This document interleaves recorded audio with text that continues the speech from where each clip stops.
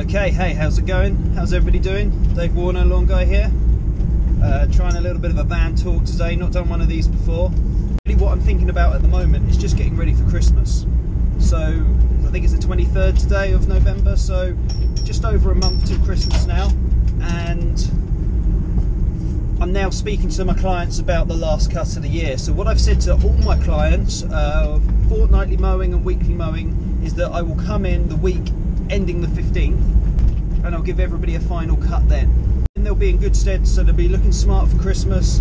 And realistically, I'm not going to be back until February, so it's, it's about as close as I want to get till Christmas. It gives me a little bit of time to, uh, if we have major washout or, or frosts in that week, I didn't want to do is um, cut right up until the 22nd, I think it is, and then you end up with that week being complete frosts and you have to miss a load and then they're not done for Christmas. There's still leaves falling down, so you want to keep it as tidy as possible. Um, for any potential other clients who come who are, who are going to visit friends and they see the stripes on the lawn and think, hey, that's really nice, who does your lawn?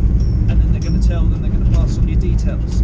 So that's why I try and keep everyone's lawns really good right up till Christmas. So what I'm thinking about now is everybody's penultimate cut. So I've just come from a client's house, I've just cut their lawn. Uh, if I was to go back in a fortnight's time, that would be uh, Thursday the 7th of, um, of December and there's no point in me going in a week later. So what I've said to her is I'll, I'll miss the next two weeks and then I'll go in on the, what would be the 14th. So not only am I thinking about when I go in, I'm also thinking about cutting patterns. I always cut my lawns with two patterns in. But what I want is my final cut before Christmas to be the main one. Normally you have a, you know, a quick pattern which is like you straight up and down, and then you might have a presentation stripe.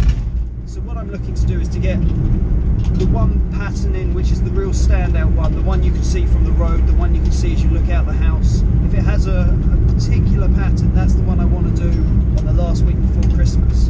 So as I'm going in now and over the next week, mowing people's lawns, I'm just thinking about which is the best stripe and I'm doing the other one. So when I do go back in just before Christmas, I can do that real decent stripe, which is going to stand out and be seen all the way through Christmas, New Year, and um, as I say, into February. I don't know what other people do, whether I, totally overthink these type of things. I'd like to know what everybody else thinks and what everybody else is doing. Are some people done now? Is that it?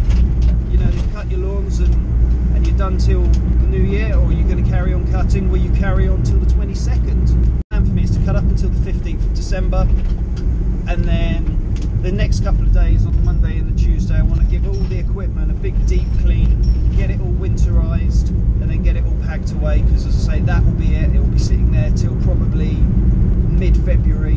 Um, I'm off on holiday and got some other stuff I want to get on with. Let me know what you think. Let me know what you do. Um, I might be doing it completely wrong. There might be a, a really easy way of how you approach Christmas. If you think this video is any good, give us a thumbs up, um, subscribe if you haven't already, and I'll see you again soon.